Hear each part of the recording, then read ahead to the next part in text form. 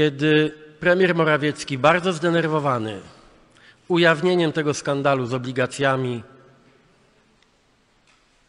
wczoraj przemawiał w Sejmie, powiedział także rzecz, która mam wrażenie umknęła y, niektórym, kiedy powiedział, że zostawił 100 milionów złotych.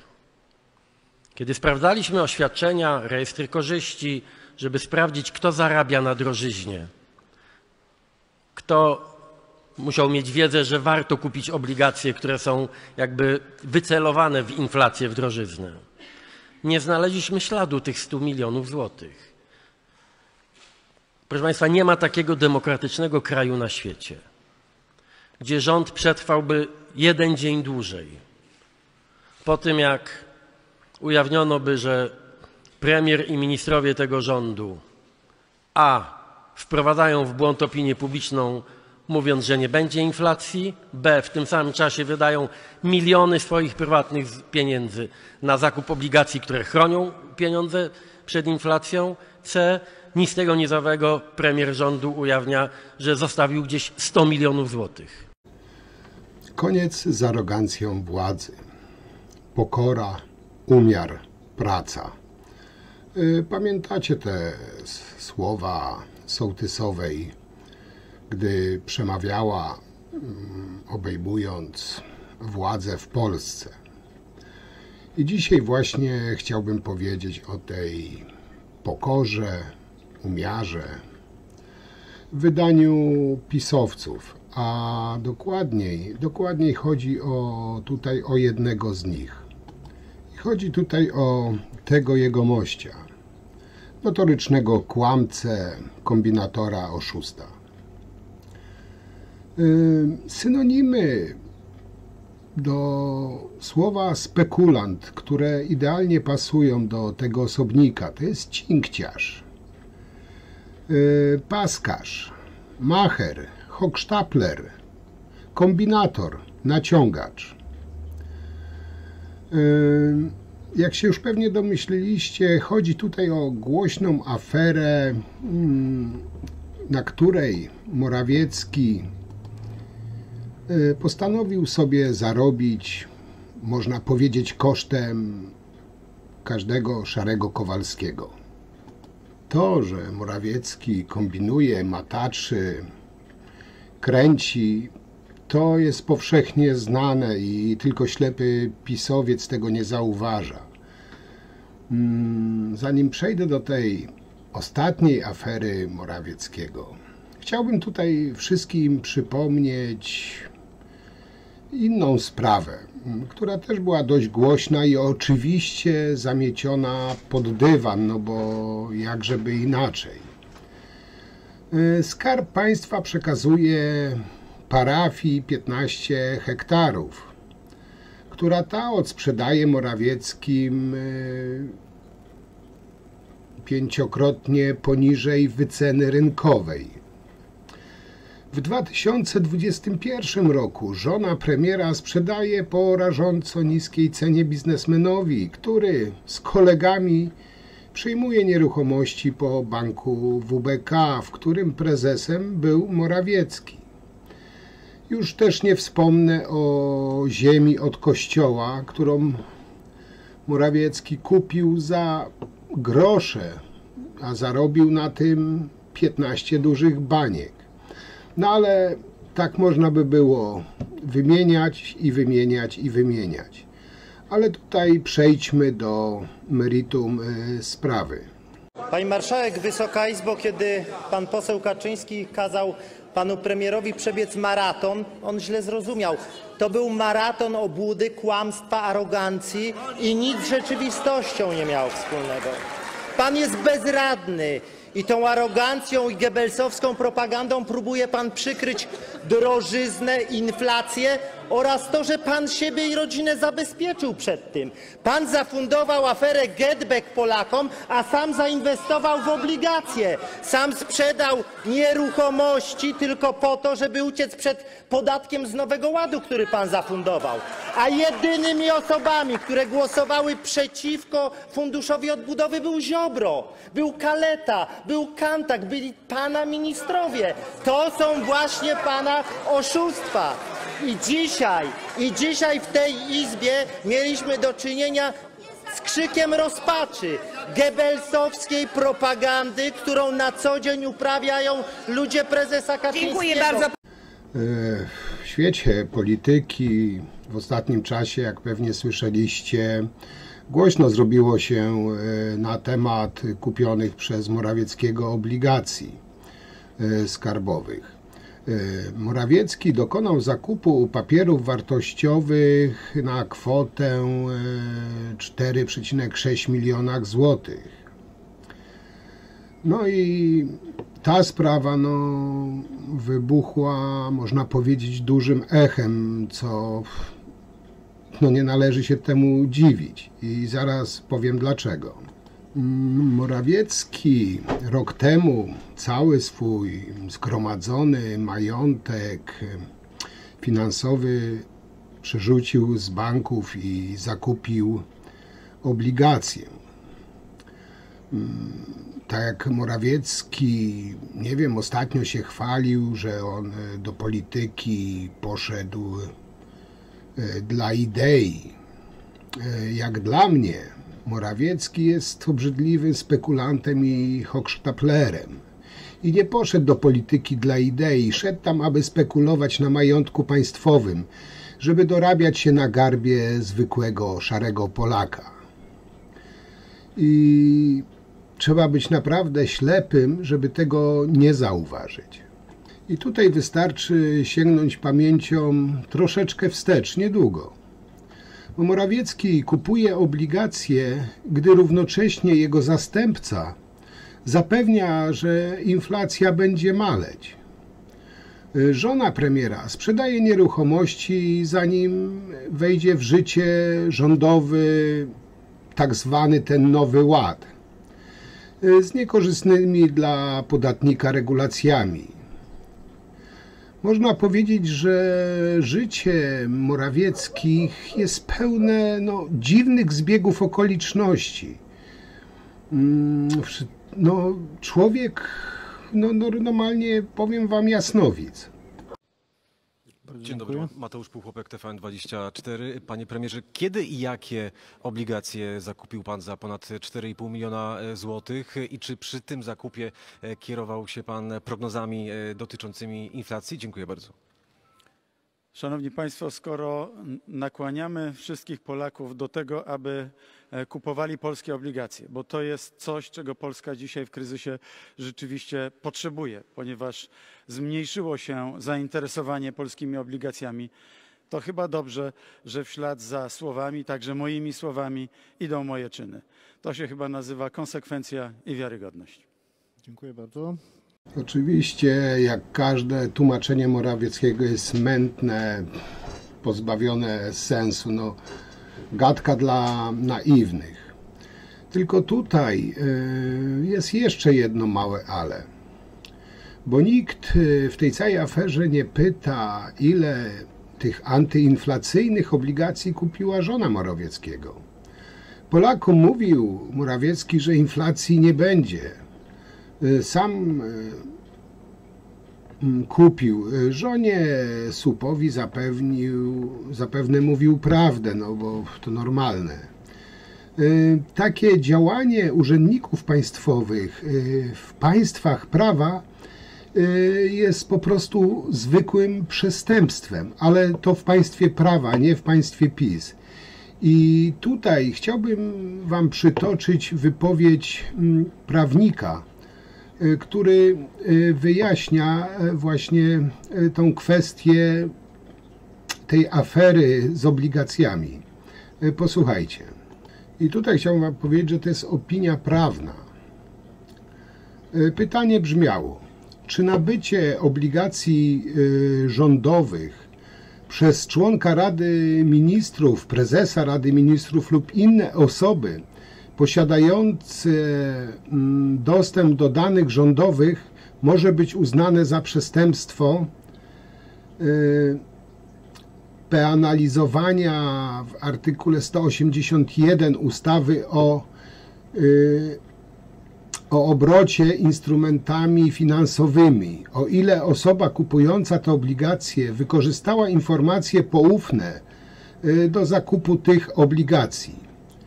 Y, Takie było pytanie. A teraz co powiedział y, prawnik? Y, Zgodnie z artykułem 181 ustawy o obrocie instrumentami finansowymi e, penalizowana jest e, maksymalna e, grzywna 5 milionów złotych oraz 5 lat pozbawienia wolności. Czyli to według prawa, w państwie prawa może grozić Morawieckiemu. Y, Jest takie działanie, które wbrew zakazowi opisanemu w artykule 14 litera A rozporządzenia Parlamentu Europejskiego i Rady Europy nr 596 łamane na 2014 z dnia 16 kwietnia 2014 roku wykorzystuje informację poufną. Artykuł 14 litera A stanowi zabrania się każdej, y, y, każdej osobie wykorzystywania lub usiłowania wykorzystania informacji poufnych. W związku z tym, że przepis skierowany jest do wszystkich, dotyczy również członków y, Rady Ministrów lub ich współpracowników. I tu możemy przeczytać dalej. Dla celów wyżej wymienionych rozporządzenie Unii Europejskiej przyjmuje się m.in. artykuł 7 ustawy, że informacje poufne są to takie informacje, które w przypadku podania ich do wiadomości publicznej miałyby prawdopodobnie wpływ na ceny instrumentów finansowych. Mówimy więc o każdej informacji, która nie miała charakteru publicznego, a y, której ujawnienie mogłoby wpłynąć na ceny papierów wartościowych. Bez wątpienia obligacje rządowe należą do instrumentów finansowych i tutaj patrz artykuł 4 ustawy 1 y, po- podpunkt 5 dyrektywy y, 2014 łamane na 65 łamane na UE gdzie określenie w załączniku 1 sekcja C punkt pierwszy, gdyż, y, gdyż są to zbywalne papiery wartościowe. I dalej. y, Dla określenia, czy w danej y, sytuacji doszło do przestępstwa, należałoby w ramach śledztwa zbadać, czy zakup danych obligacji był powiązany z otrzymaniem informacji poufnych. Y, Członkowie Rady Ministrów, a szczególnie premier, mają nieustanny dostęp do różnego rodzaju informacji poufnych przy tak szerokiej de- definilacji. Skoro przepis mówi o każdej informacji, która mogłaby mieć wpływ na ceny obligacji, to bez wątpienia należy do nich m.in. informacja o zbliżającej się wojnie, informacja o rzeczywistym stanie budżetu państwa, informacja o rzeczywistym stanie zadłużenia, informacja o drukowaniu pustego pieniądza, informacja o zbliżającym się wzroście inflacji. Yy, I o ile te informacje nie były podawane publicznie, e, wszystkie mieszczą się w kategorii informacji poufnych. Czyli pan Morawiecki, kupując obligacje, zapewniał, że inflacja będzie mała, że nie będzie rosła, że jest przejściowa, a w międzyczasie kupował sobie obligacje, na których teraz sobie zarabia. I reasumując, y, czyn członka Rady Ministrów lub innej osoby związanej z rządem polegający na zakupie obligacji rządowych jest przestępstwem, o ile wykaże się, że ich zakup miał jakikolwiek związek z informacjami poufnymi pozyskanymi w ramach działalności rządowej. Kropka. Yy, czyli Wateusz zadbał o swoje interesy. Inaczej, jak go można nazwać? Spekulant i hochsztapler. Panie premierze, dzień dobry. Kiedy pan kupił i jakie obligacje? Trzeba pan to wyjaśnić. Kiedy to było? Dlaczego pan tego nie chce ujawnić? Dzisiaj Ministerstwo Finansów podało, że dwuletnie obligacje o oprocentowaniu stałym e, zostały wstrzymane. W związku z powyższym Polacy już nie mogą z nich skorzystać. Chcieliśmy z posłem Jońskim zadać pytanie, czy skorzy- skorzystał z nich akurat e, Mateusz Morawiecki, który ma dostęp, czy miał dostęp e, już pod koniec roku do informacji na temat tego, jaka może być inflacja w 2022 roku, w sytuacji, kiedy pamiętamy konferencję Glapińskiego, który mówił o deflacji. No, Być może y, wszystkie obligacje wykupił Morawiecki z żoną, być może. Ale proszę zwrócić uwagę, że na tych obligacjach premier Morawiecki zarobi tym więcej, im większa będzie inflacja. Jemu się nie będzie opłacało zbijać w Polsce inflacji, bo straci. A znając jego chciwość, y, a wszyscy znamy jego chciwość, e, e, e, po prostu Politycy PiS mówią o zaradności. No, tak samo jak z działkami e, kościelnymi, które kupili za 700 tysięcy, a sprzedali za 15 milionów. Pan premier nie odpowiada na żadne pytania. Wczoraj go kilka razy usiłowałam zapytać, kiedy kupił publikacje, jakie. Rzecznik rządu od pięciu dni y, u- mówi, że jeszcze nie porozmawiał z premierem, ale to, jest, to nie jest żadna tajemnica, że on się zawsze dowie. O co tu chodzi w tej takiej całej szopce? To, jest, to nie jest szopka, to jest poważna sprawa, to jest kryzys państwa, trzeba o tym powiedzieć e, w sposób jasny. To są obligacje sprzedawane przez ministra finansów. E, W tym roku Morawiecki był przez jakiś czas ministrem e, finansów. Ważne jest kiedy kupił i jakie kupił, prawda? Bo to jest kluczowa Tak, sprzedaje je tak naprawdę Skarb Państwa, czyli Ministerstwo Aktywów Państwowych, które nadzoruje, e, a obsługuje sprzedaż obligacji Biuro Maklerskie Banku Państwowego PKO BP. W związku z powyższym e, ten konflikt interesów jest e, oczywisty, ale najgorsze w tym wszystkim jest tak zwany insider trading. To jest e, no, swojego rodzaju nadużycie, o którym e, się mówi w świecie finansów, wtedy kiedy ktoś ma dostęp do poufnych informacji, na przykład na temat inflacji i wykorzystuje tą wiedzę do tego, żeby pomnażać swój zysk. To, co widzimy u Morawieckiego, to jest niepohamowana rządza zysku. Nie wyszedł z tej natury bankstera cały czas. Czego dwuletnie obligacje indeksowane na inflację nie będą już teraz sprzedawane? Jest taki komunikat Ministerstwa Finansów. E, Zdaje się, że jedne są zastąpione drugimi, ale tutaj trzeba pytać pana ministra Skuzy, jak to A dokładnie pan wygląda. premier to właśnie kupił te obligacje dwuletnie? Bardzo dziękuję. No, tak widzicie nawet na tych filmach pisowców buta, arogancja, pogarda, no aż bije. Ale jest jeszcze inna kwestia, Yy, bo wszyscy mówią, piszą yy, o cwaniactwie Morawieckiego, który zawczasu zakupił sobie obligacje, by bezpiecznie i zyskiem ulokować swoje miliony. Ale jest też, powiem Wam, inne pytanie. Yy, Skąd te miliony? Skąd Morawiecki wziął te miliony? Yy, Co takiego w życiu zrobił ten facet, by mieć taką kasę? Szefował bankom, spekulował ziemią, wykorzystywał yy, kontakty z kościołem. No, no, kto zadaje się z tą in- instytucją od tej oczywiście dobrej strony, to znaczy od strony finansów, to nigdy nie straci. No, tutaj nie ma akurat żadnej tajemnicy. Ale powiem Wam, że to trochę dziwne, żeby tak od razu takie grube miliony. No,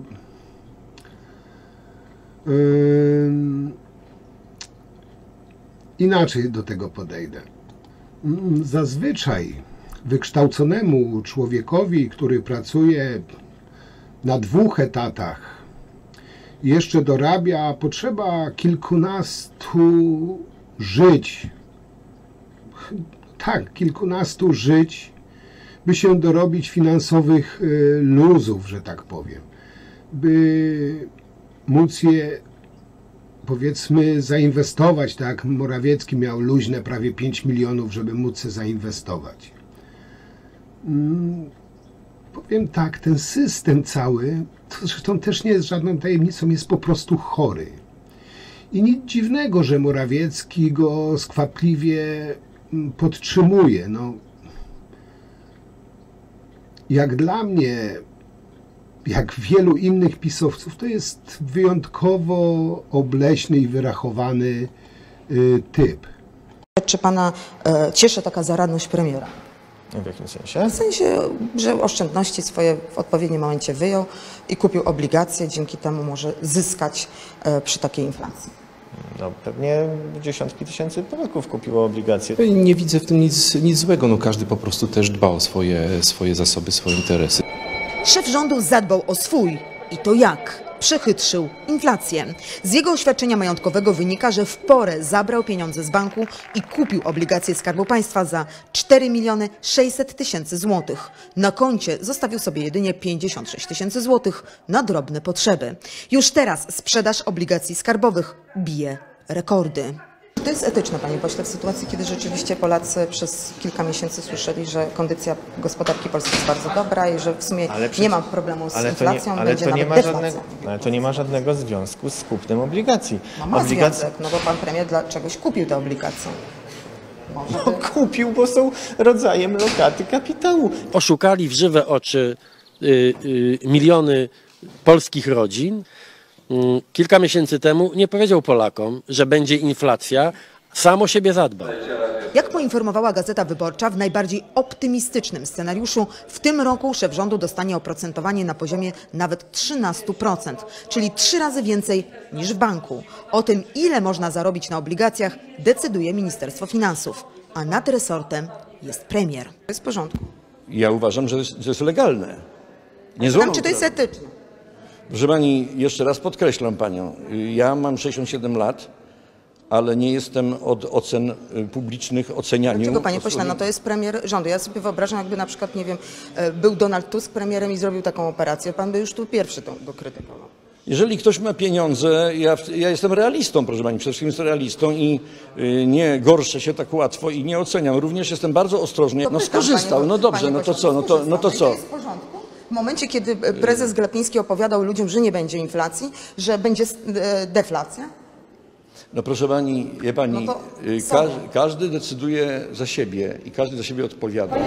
Przez kilka dni szef rządu uciekał przed pytaniami, aż w końcu Mateusz Morawiecki przemówił. Skoro nakłaniamy wszystkich Polaków do tego, aby e, kupowali polskie obligacje, bo to jest coś, czego Polska dzisiaj w kryzysie rzeczywiście potrzebuje, ponieważ zmniejszyło się zainteresowanie polskimi obligacjami, to chyba dobrze, że w ślad za słowami, także moimi słowami, idą moje czyny.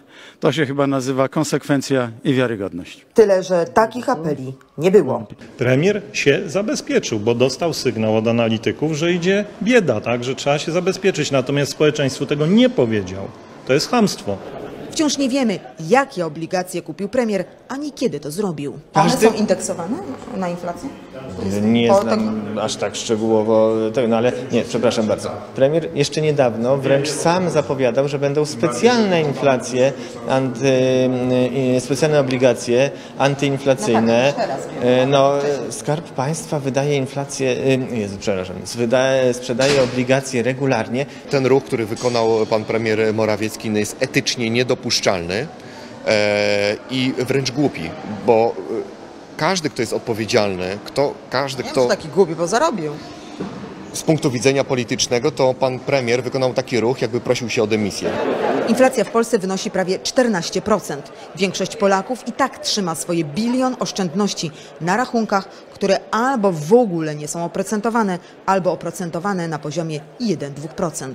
Nie ma żadnej sprzeczności w tym, że premier rządu kupuje obligacje własnego Pan kraju. prezes, I rozumiem, myślę, że Kaczyński też nie ma z tym problemu. No, nic mi nie wiadomo, że miał jakiś problem. Wciąż nie wiadomo, jaki jest majątek państwa Morawieckich, mimo obietnic sprzed trzech lat, że wszystko będzie ujawnione. Jak jest pies, to się kij znajdzie. Y, Dajcie mi człowieka, znajdzie się paragraf. I uważam. Y, Nie, to, y, to opozycja zaś. y, Nie, je, jest. Trzeba uczciwie przedstawić swój majątek, a teraz sam pan e, fikołki robi skutecznie, żeby tego, tego de facto nie potwierdzić. No. A co jest nieuczciwe? Że ktoś żonie przypisał majątek? To jest nieuczciwe? No chodzi, tylko trzeba Tylko to co? pokazać. Co to za problem? Tym bardziej, że państwo to obiecywali. A dlaczego trzeba? No bo sami państwo to A obiecywali. jak? Bo najlepiej jakby wszyscy się jeszcze rozebrali do naga. To akurat niekoniecznie. Zresztą ta słynna afera taśm Husowy pokazała, jakie on ma podejście do Polaków, jak traktuje Polaków. Jego najsłynniejsze słowa, że Polak ma zapierdalać za miskę ryżu. No pewnie tak, żeby dla niego było więcej kasy, no bo przecież jak żeby inaczej.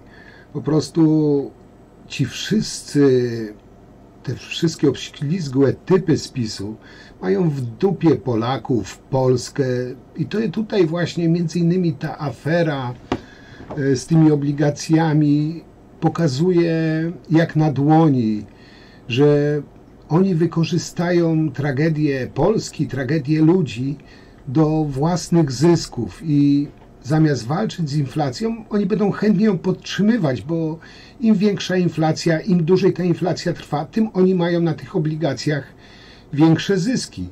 Czemu oni zapewniali, że inflacja jest przejściowa, że ta inflacja długo nie potrwa? I nie informowali, że będą sprzedawane obligacje, tylko sami kupili. A jak pokupowali, to nagle przypomnieli sobie, żeby poinformować Polaków, że jest inflacja, że rośnie inflacja. O wojnie na Ukrainie, którą sobie teraz tak gębę wycierają, też dużo wcześniej wiedzieli, bo y, wywiady sojuszników z NATO dużo wcześniej im dawało znać. I co oni w tym kierunku zrobili? Nic, kompletnie nic. Wszyscy doskonale pamiętamy, jak pisowcy krzyczeli, że PO kradło, tylko jakimś dziwnym trafem nikogo nie skazano. Krzyczeli o mafiach VAT-owskich, a okazało się, że mają te mafie wśród swoich. Krzyczeli o Sowie, a to była ich mm, afera. Zresztą sam w niej uczestniczył sam Morawiecki w rozmowach Usowy na taśmach Usowy. Krzyczeli o ośmiorniczkach, a sami rozdali sobie grube miliony. Krzyczeli o aferach, a sami mają ich już ponad 200. No można by rzec, kurwa, niekończąca się opowieść.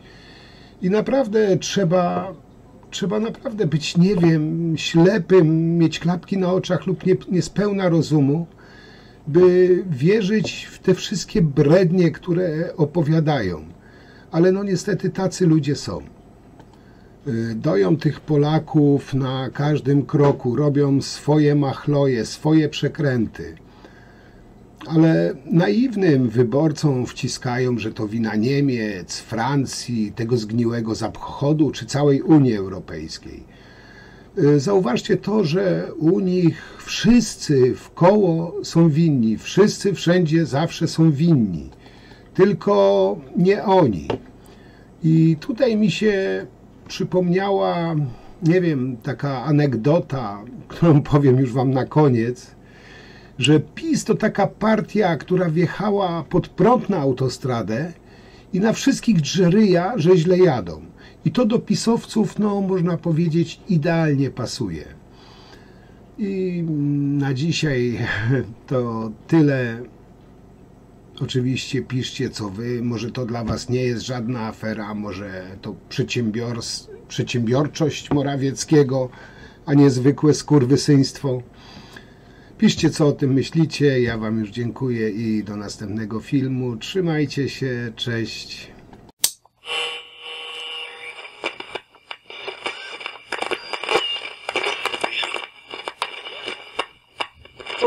Same tylko nadmiarowe zyski, przepraszam, przekraczające średnioroczną z ostatnich lat, o tak powiedzmy precyzyjnie.